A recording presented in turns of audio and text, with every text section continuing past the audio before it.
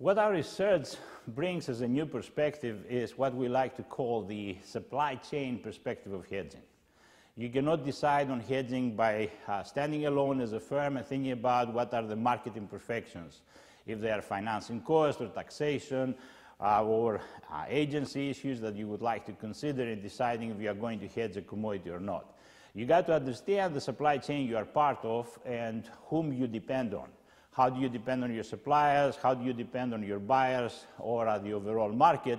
And then you are going to make an informed decision when to hedge and to what extent to hedge the commodities that are involved in your products. And furthermore, we clearly point out the role that supply chain contracts play in effective hedging of commodity prices. A wholesale price contract will require both suppliers and buyers to hedge their unique commodities, and they got to make sure that their partner hedges at the same time. For the pass-through contract, in order to work very effectively, becomes extremely important for the downstream buyer where the shift has been uh, sifted to effectively hedge uh, the commodities that are involved in their products.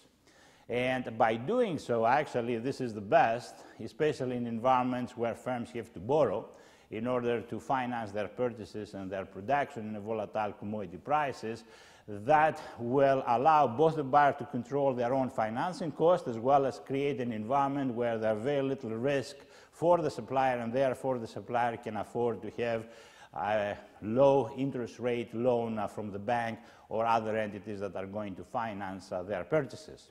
Finally, for the revenue sharing contract, as we argued, uh, can be a very effective contract as long as firms agree not only to share revenues and costs, but uh, at the same time, they got to agree on the hedging practices in order to deal with the volatility of the commodity prices. The supply chain perspective on hedging is extremely important.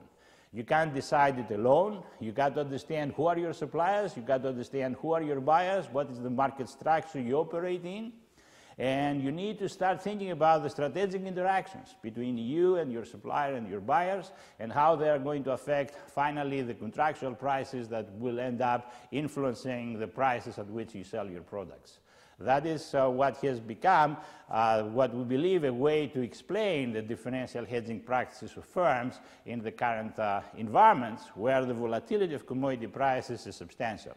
We live in a low commodity price environment that creates its own risks, but we shouldn't forget that a few years ago we lived in a very high commodity price environment, and a few years down the road we don't know where we're going to be.